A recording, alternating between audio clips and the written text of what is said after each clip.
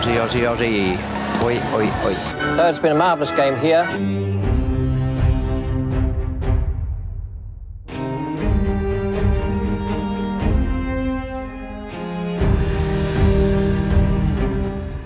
Welcome to part number four on Kutti Story, and we've got a very, very special guest all the way from uh, Jalandhar. Sorry, I should call him uh, probably an Englishman, but the current batting coach of the Indian cricket team. Vikram Bhai, welcome on the show. How are you doing?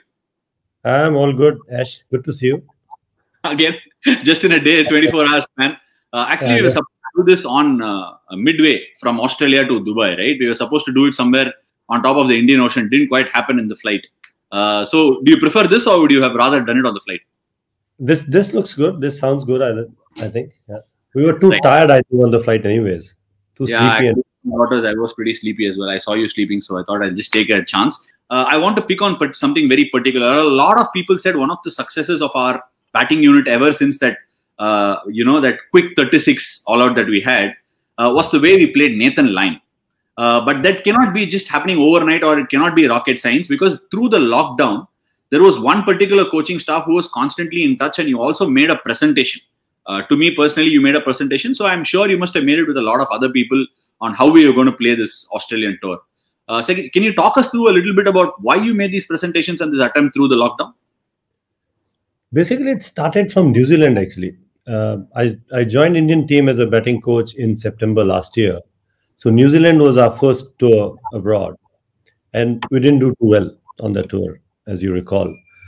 So analyzing that as a coach, what we could have done better, I thought that there was a lot of discussions, you know, how the bowling unit will be, how New Zealanders will be bowling, and and how we should bat. But it was all talk. We never really worked on those areas. You know, we didn't have enough time. Sorry. Any example of that uh, talk and walk the talk? I mean, we knew that they're going to bowl in one particular area. They'll be challenging our discipline basically most of the time. So there was a lot of talk, but did we really practice that? Did we really, you know, work out that what should our response be towards that? Which are our scoring areas? Again, discussions were there, but they were hardly any work done because we didn't have enough time. I thought on the tour.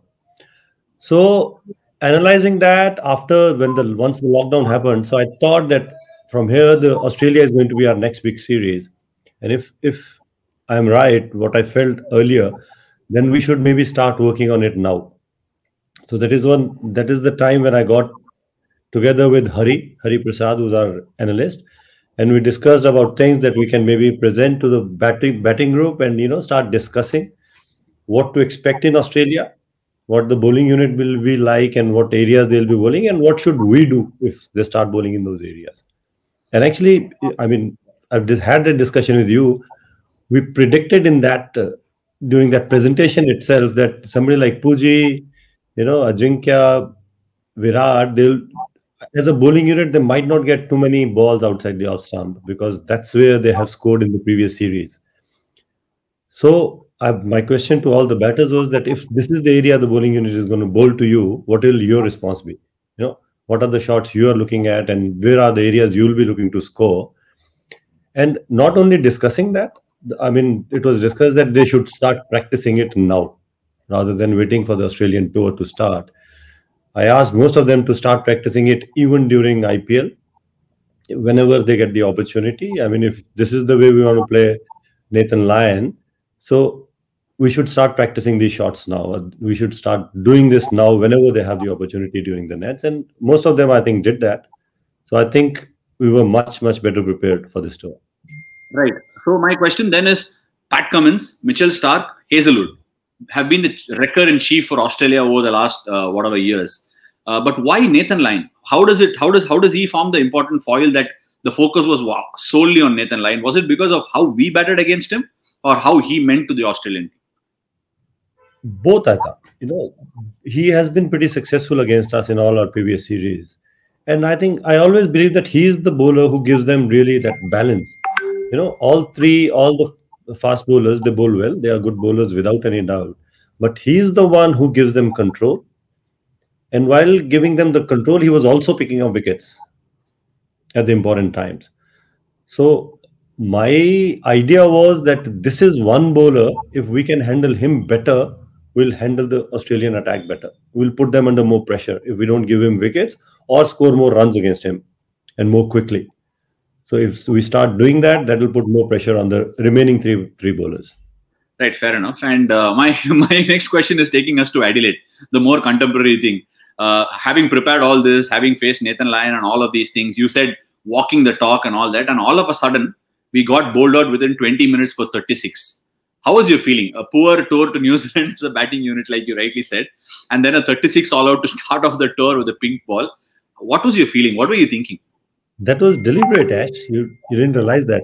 We wanted to we wanted to build up the momentum for the series, actually. no, you're right. I mean, after those discussions, when we when we reached uh, when we arrived in Australia, I genuinely believe that we have prepared really, really well. Actually, we had some good practice sessions. The batting unit, uh, the test batting unit was with us throughout the ODI and T20 series. So again, lots of practice sessions, lot of uh, you know bowling in the rough and playing against off spinners and short balls and the balls coming into you. How you're gonna do a lot of discussions going on, a lot of preparation. So I and we started off well. First innings we took some 50, 60 runs lead. So everything was going you know as you thought it should be going and then suddenly that that third day morning something happened and i mean there was no ex explanation for that it was so so quick actually it, it happened so quickly that there was nothing to think actually what happened we were just i think all of us were just in a, in a kind of a shock actually it was funny as well because in the morning i remember particularly that uh, Bumrah was saying that he's feeling a little stiff Bumrah was the night watchman in who was yeah. batting at the time because he has had bowled a long spell the previous day. So I was telling him that you'll get a day's break definitely before you start bowling now again. who knew that he'll be bowling in before in lunch itself? 30, 35 minutes time. In fact, Sridhar, uh, I had a chat with Sridhar and Sridhar was telling me he went uh, to give Rishabh some practice from the rough. And yeah. before he finished and came back, the innings was done. He said we were eight down. So uh, yeah. how was how was the mood inside the inside the coaches uh, you know so called arena where you all sit together? What were you talking? Were you talking something, trying to be proactive, or everything was too quick? It was all too quick. I think you know there was even after getting out and losing that game. After that, when I was looking at the highlights or looking at the the wickets, how they got out, I couldn't fault find any faults actually. It was just that good balls, and we just kept nicking them, and everything was caught actually. So later, in the hindsight, we were thinking maybe the intent should have been better, could have been better. You know, we could have been more attacking or something, but not really actually, because if you keep getting out after playing five, six, seven balls, intent doesn't come into question actually. So it just happened. Absolutely no explanations actually. So this, this intent is a topic or or a, or a word that we hear a lot of time when we are batting, and I, I remember also. Uh, I mean, uh, I mean, not not very big, but after this innings as well, uh, some of the batters talking about intent. You know, if he had shown more intent in the second innings, the bowlers couldn't have bowled in the same spot and stuff like that. But like you said, how what is the balance between showing intent or not showing intent? Because I remember the last Adelaide Test we played in 2018. KL Rahul went and hit, you know, uh, Hazlewood or Pat Cummins over extra cover for a six in the second yeah. inning. Is that what we talk about as intent when you go out to bat in the second innings, or what exactly is intent according to you? intent is what what you want to do as a batting unit or as a batsman when when you're batting in there intent has to be connected with your game plan what the team needs at that point of the time batting i always believed and we've spoken about it is always about scoring runs it's not just batting there it's about scoring runs for your team and you need to find the best way to do that while while you're inside so playing with intent again is not being too aggressive or not being too defensive or tentative. It's playing with, you know, looking to score runs in the best, in the safest way possible, basically, without losing your wicket if if you can. So when you say intent is the best possible way, so it's not about looking to survive the first half, or you just go out there and look for run scoring options. No, I mean if if you're playing on on a wicket or in the conditions or against a bowling attack where leaving is important or playing with discipline is important, so that that also comes under intent you know having the intent to survive that period or play through the tough spells of a bowler that also is intent defending well is also intent part of intent i think. Right getting all out 36 and this question cannot be asked to anybody else i think it's the most pertinent uh, to be asked to you virat made 70 runs in the first innings uh, probably did, started running out of partners in the second innings bowled out for 36 and he was also leaving. Genuinely and honestly, tell me how did you feel at that point of time? Did you feel like three uh, three tests that we've lost, we've not batted so well? Now Virat is leaving. What do we do? Was that running through your head, or what did you feel? To be extremely important, I didn't really feel any any such things actually. You know, I yeah. still believe that we have prepared well. And looking at those highlights or the way the wickets had fallen, I don't I didn't think that anybody batted poorly or played a bad shot or you know they threw away their wickets. It didn't really happen. So I had to tell myself that this is just one off innings or one off incident. And if you remember, I had put in a message next day in the in the group that these are the times, you know, when the doubts can creep in, where you start doubting your because a lot of people will experts, so-called experts and people and media will start talking about uh, technique for uh, faults in technique and preparation and methods and this and that. So my message to the whole group was that you know this is the time that we back our preparations and our methods the way we we have prepared well we have to believe that so just keep backing that keep backing yourselves and eventually we will will do better.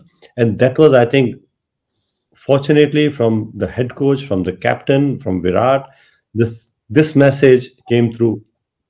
You know everybody said the same thing that this is one off in incident or one off innings. We need to forget about it. Like uh, Sridhar, I heard him talking in your show and telling that let's look at this as a three game series from here onwards. You know? So and that's that's how i think the team looked at it and that's how we played after that i thought right looking at it as a three match series and taking it forward and you know completely forgetting the innings might be easier said than done right uh, the next game in melbourne was supposed to happen in three days but we gave ourselves another couple of days break because of what happened in adelaide no, so in, I never I never I never said that you forget about this this inning. Yeah. I think I think I, the message I was trying to give, or as it as team management, all of us were trying to give, was that you, of course, analyze what happened, think about it, what are the areas we need to work on, and what we need to improve, but then move on, and that is that is needed to be done even after you the won the next game. I think. You know after winning the next game in Melbourne, the same message was being given again that analyze again if there are areas that we can improve on and move on don't get stuck with the result basically whether you've lost or whether you won. Right okay. So now now that you you actually mentioned the point and led me to the next question. You said a lot of experts analyze it talk about technique you know. They give a lot of opinions at this point of time. I have received a lot of whatsapp messages when things aren't going right. As a batting coach you must have got a few whatsapp messages. Did you or you never got any? I don't i don't really get any i don't uh, get any whatsapp messages because i hardly hardly respond to those kind of messages but yeah but you kept hearing things and I, I could make out that people will be commenting out techniques and preparations and this and that. But if if we see as as coaches we keep telling players that we we need to focus on process and not on the result. So we as coaches need to walk the talk basically. We also need to focus on the process and not only on the results. And right. that's what i think all of us were trying to do at that point. Fair enough. 36 all out. Now we're moving on to the next test uh, we bowled really well at melbourne in the first on the first day we were batting again back against the wall so to say the batting was looked upon like you know very very intriguingly about what's going to happen and all that i remember still as sitting there with the ice bag on my shoulder that you had your own laptop and you were sitting outside you are not sitting inside the you know change inside the sort of uh, viewing area what were you going through the ball was seaming in fact pat cummins i think bowled three, four overs where, where the ball didn't even make contact with the bat. What were you thinking then? Were you under uh, pressure? What were you telling yourself? I, I, mean, I generally don't feel pressure because I generally genuinely believe that it's the it's the players who are playing who are under pressure. Okay. As coaches, you're sitting out. I mean, in the last game, you didn't play, and you was you spent quite a lot of time with the coaching staff in our room. So we are in a very helpless kind of a situation where you can't really do anything actually once the game starts you know so, so of course i was just looking at the way we are playing and cummins bowled superb spells. I mean throughout the series i think he was the best bowler. Hazlewood on and off yes as well. So i was just looking at them and basically what we are doing if there's anything looking at some some things how the feet were moving what how we were responding to it. And just if you remember that again in the betting group we had discussed that we'll we'll try and bat in pairs. We'll just look for partnerships. We'll look to end sessions and play through the sessions and not really look too far beyond that and that's what i wanted the players to do and that's what i think we did well in that game Right, Melbourne. When it comes to Melbourne, I, I was more intrigued about the second innings than the first innings. We had about 70 runs to get, and we had lost like two wickets in 20, 25 runs. I still remember I didn't come out of the toilet until we got to 65. I was just sitting there because somebody asked. I asked somebody. I asked. I told Mayank, just inform me when we get to 65. We'll all go outside and then we'll go and you know start looking for that sort of a. Did it ever strike you that you know 70 runs to get? Oh my God, we are so close to the victory. Did it happen to you, or you were again you know in the state of nil?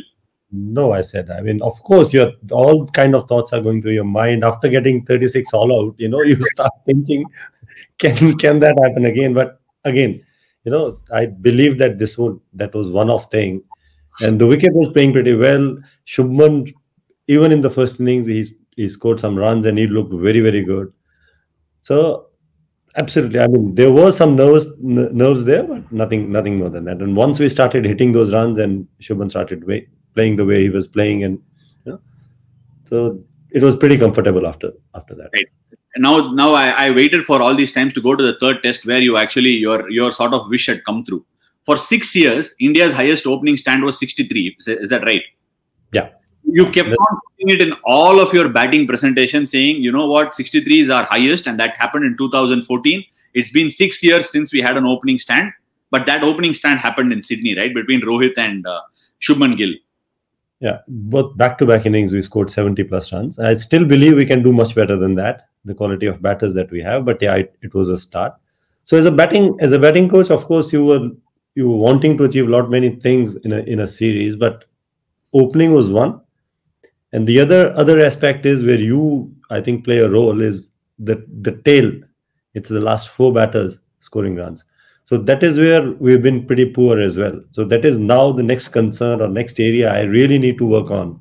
Isn't so this isn't this Australian tour one of the better tours as, as far as what the tail enders put in as a show? Uh, like you, yeah, yeah, we have improved, but I, I believe we can get a lot better. We we no, need, we need to work on. Discussion with all the bowlers during the lockdown, right? About what they were doing towards the end and all that. How was this? How how did that discussion pan out? Why did you do that? again i uh, that presentation thing happened with the individually with all the batters we had just uh, like the presentation we had with you as well that how the last couple of series uh, we've done as a batting unit or a person has done individually as a batsman the areas the bowlers have bowled to him the, the areas where he has scored runs in and looking at those uh, those graphs and those uh, visuals where do you think the bowlers will be bowling this series? And if they're bowling in these areas what will your response be? You know how are you planning to score runs and what are your game plans going to be? So that's the kind of discussion i had with all the batters. Then we had one discussion with all the bowlers basically that this is the this these are the stats that we have in australia for last couple of series which was pretty poor actually to be honest so how do we work or get better at this so how you feel that you can get better at this so the, the idea given to them was that stop looking to score runs. I just want you to play 10 more balls individually. And if we can start adding to the more balls that you bat, I'm sure from the other side, somebody will score more runs. So if we can just start working on again on the partnerships, and if you can just give yourself time to stick in there and show some character, you know, some fight that you don't want to just throw away your wicket and go out. So if we can start doing that, we'll do better.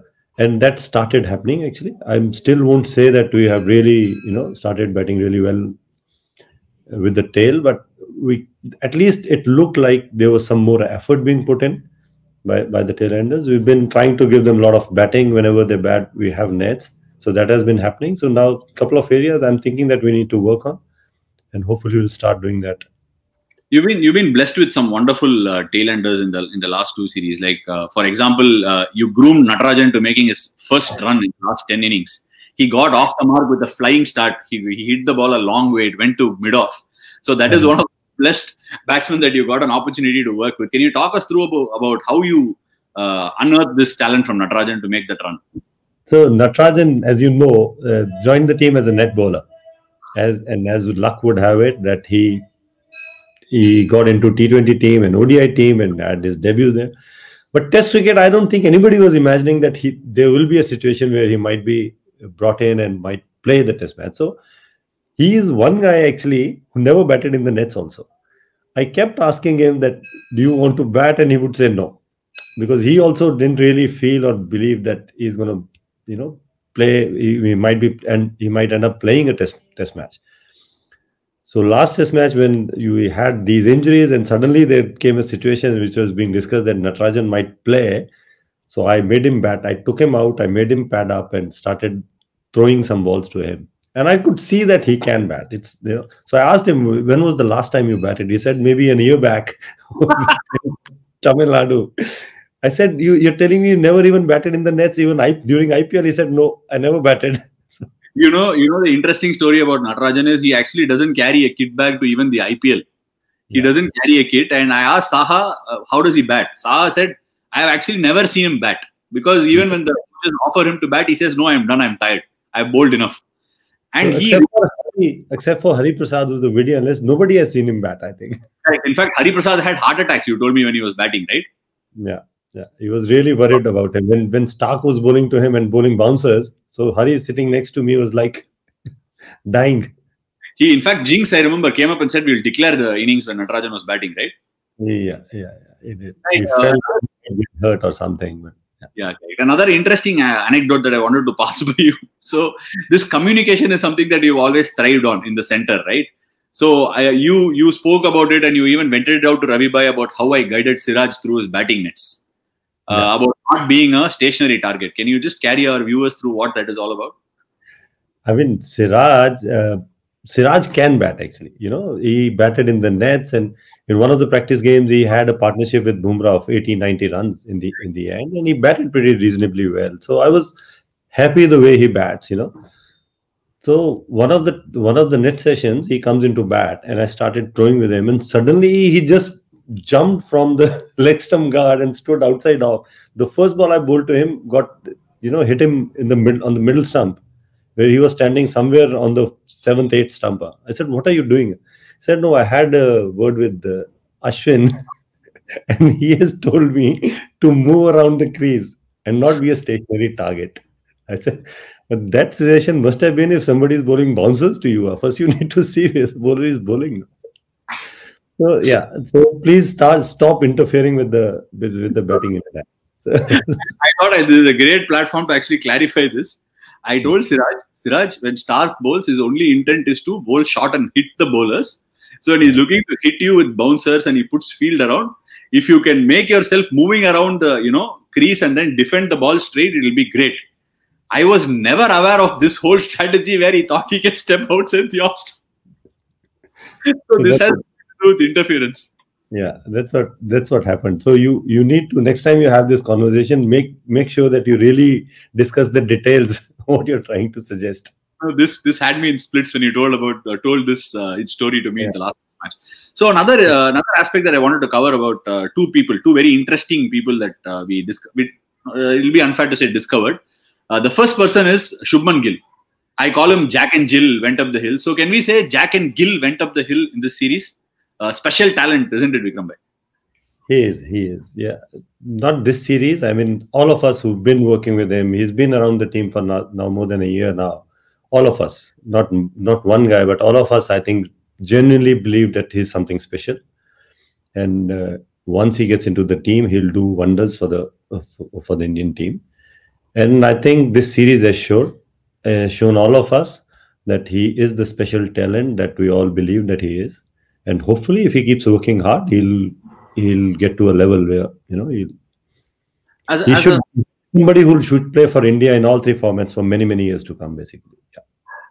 Right. As a, as a batter, uh, you you you opened the batting for India yourself uh, in the in the in the in the nineties, and uh, as a batter, what sets Shubman apart, uh, Vikram Bhai? Because we were talking uh, in the last test during the Gabba test that how he batted Nathan Lyon unbelievably well. Like you were talking about it, and in that over you jinxed him and you got him out. You got his wicket, in fact. So I wanted to find out what sets him apart as a batter you leave apart the skills that he has, the the surety, the time that he has against bowlers, which is which is all special. But for me, what really stands out is the clarity of the thoughts. When when we're discussing this uh, this uh, this discussion that we had during lockdowns, when I was calling players and you know discussing with them that what areas we need to do work on and what are your plans and so I'll tell you interestingly, when I called him up and I started discussing with him, so what are you doing? The first the the first thing he said is that he's already practicing against the short ball because he's thinking Australian series now. So without me starting the conversation on how the Australian series is going to go, he himself at that point itself was practicing for Australian series. So with other batters, we we came up with the areas that these bowlers bowl and what are your plans, and I was helping. And he had already had that sorted. You know, he was telling me his plans, what he's thinking is Nathan Lyon, what his his plans going to be, what are the how he's going to you know handle him or the short bowling, and he was already practicing that. So that kind of clarity is very very unique. I think when you know what you want to do, and you're able to do that. Even even in the last game, Yes, uh, that I, I want to finish it at that. The last game at Brisbane, uh, he got out. Uh, he he came out during lunch when, when he was batting well and you know looking good, and they had just started bowling short balls to him. So as a as a coaching unit, we were discussing that this is the time we shouldn't really say anything, just let them bat, you know, and see where we are the, at tea, basically, you know. So I just went to him and I just asked him that what are your thoughts on the short balls being bowled to you? And the clarity that of plans that he had you know i was surprised actually that if somebody bowls at this line this is what i'm going to do. Somebody is bowling from that end which is where the boundary is shorter maybe i'll pull for a six. And he had all the answers basically. He already knew what he's going to do. So i had nothing to say to him. I said just boss carry on. You're sorted. No, I, I remember you walking quietly up and then Ravi Bhai asking uh, uh, Vikram, did you tell him about the short ball? This phase is very important to get through. And you actually said, he said, if it is below my height, I'll hit it here. If it is here, I'll hit it here. And I was just blown away to think that somebody is able to pick length, height, line, and then also have plans covered for it. And that was just unreal. I'm a big fan of Shubman Gill's batting, but that was unreal to know. Even in the Melbourne, this is an incident that I, I wanted to share. We were we were bowling. I, I'm sure the wicket got flat, and we were trying to bowl them out, come in, Starc, and they were all showing some resistance. And Cameron Green caught was caught at square leg of a pull, and he came running to me and said, "Ash bhai, जल्दी खत्म कर लो यार 40 50 run रहेगा मैं पांच over में खत्म करूंगा Hmm. said wow this is this is unreal man we we've got a debutant who's walking up and he's saying khatam karo and i will finish it in 4 5 overs and that 250 in a test match so uh, this is it is it a generation thing or is it an individual thing uh, Vikram bhai?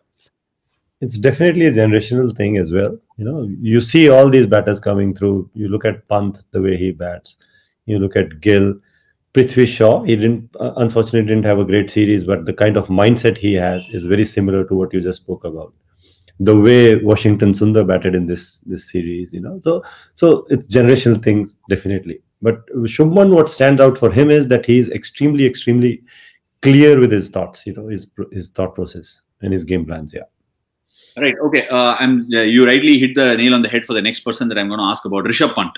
Right. Uh, so I, I have this favorite line about punt. Pant gives a heart attack to both teams, the team that he plays for, and also to the opposition teams. Is that how you feel as a batting coach, or uh, what is it? What is the thought process behind using Pant as a floater in Test match cricket? How did you come about it? You use him at. You in fact wanted to send him at four in the last Test, right? In one of the innings. Yes, yes. I thought it, if we can do that, if in case we get the start and things like that. But anyways, so it, it wasn't really my call. My I cannot take the credit for this because this started in in after the first test that we lost. I mean, Shri has already spoken about where Virat and Ajinkya and all of us sat together before Virat left. So that is where this was discussed, and it actually came from Virat, to be honest. That in case we are playing both the left-handers, it will be a good idea if Pant can be sent at number five so that we can have that left right combination. So we debated on this a little further, and you know, we discussed with Ajinkya also. I had a discussion that that if the wicket falls early, is will it will that be a good time to send Pant? You know, so then we discussed that we'll let it let him be at number six, but in the second innings, then I said, boss, in in Sydney, that this is the time he needs to go five, irrespective irrespective when we lose the wicket because it's the last innings and we were looking to go for the runs you know the intent was to you know not to really draw the test match till the point we can if we can go for runs so that was the right time to send him at number 4 and all all of them agreed that includes Ravi Bhai because he he was big on left and right combinations and lefties because he believed from a long time that Australians don't bowl that well to left-handers, so we need to bring in a lefty in here somewhere.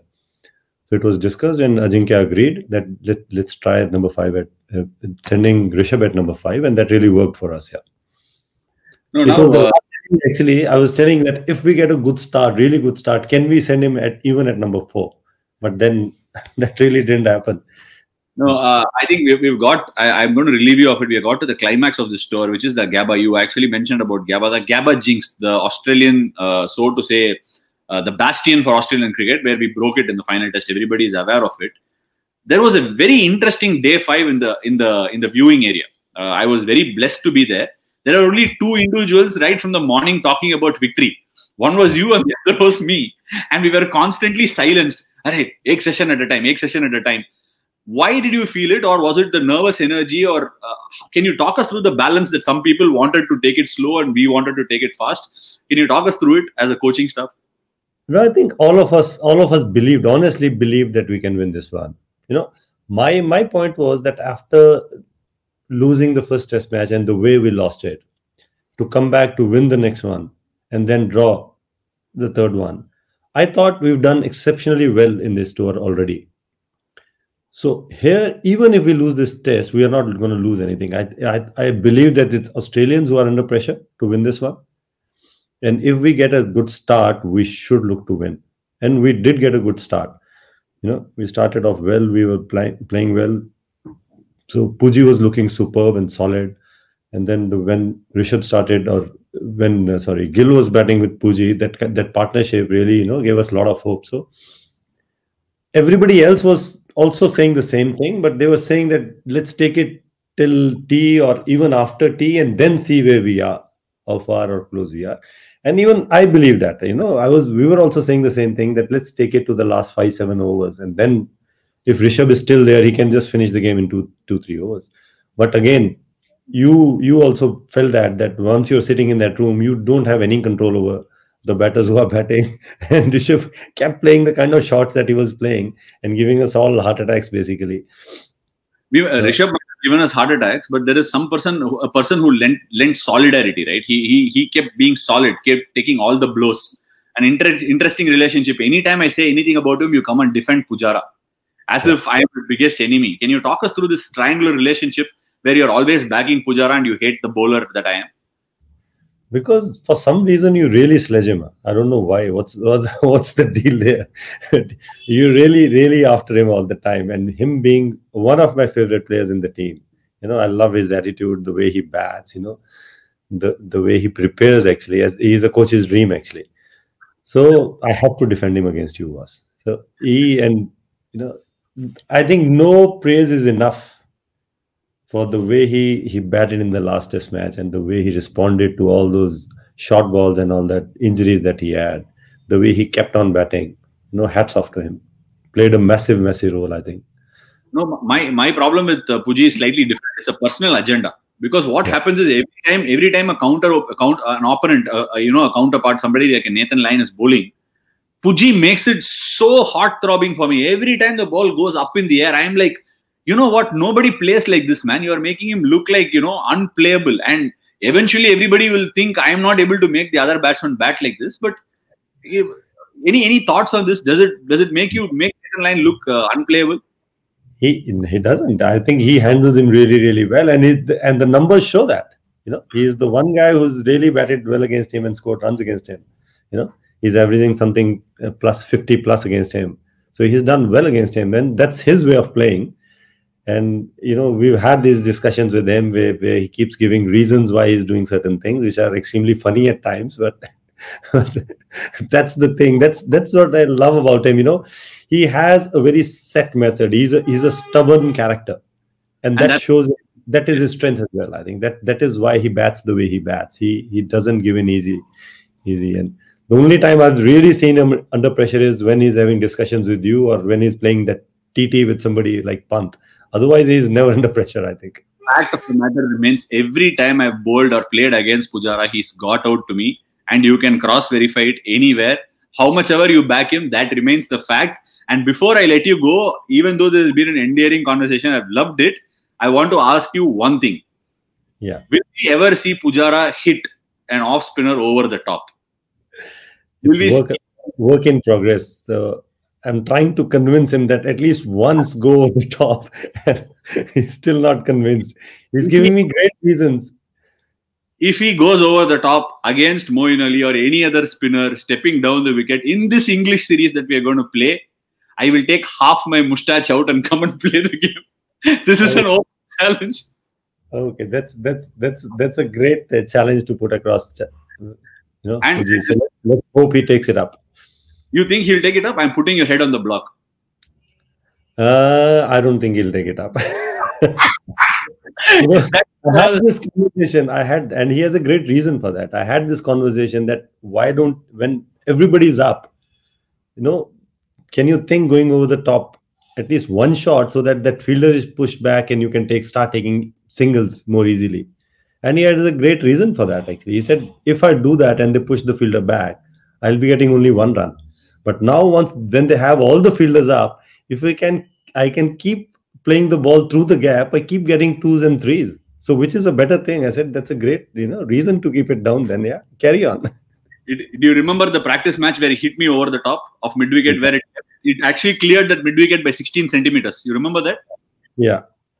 Right. It almost uh, almost reached the boundary. Don't don't uh, talk nonsense. It went for a grand two runs, but it didn't go for boundary. No, before I let you go, because you said this, you had an interesting conversation where he believed that the ball cannot carry to slip when he defended, right? Can you t- tell us about that as well? No, I'm not telling you any such things. uh. You're now just again getting into that mode of sledging him, which which I'm, not, I'm not letting you do. Uh, jokes apart, jokes apart. I hope you know that we are great friends, uh, guys. Don't think that I'm Puji's enemy. I'm one of his best friends, and uh, pulling his leg is is my favorite pastime, and that's also Vikram Bhai's favorite pastime. Thank you for doing this, Vikram Bhai. Been one of the greatest series, and you've been one of the greatest uh, human beings I've come across in the team, and you're a great addition to us, and I've enjoyed working with you. Thank you so much. Thanks, thanks a lot. Thanks a lot, Ash. Thank it was great fun talking to you. Yeah. Thank you, Vikram It was very nice. Superb.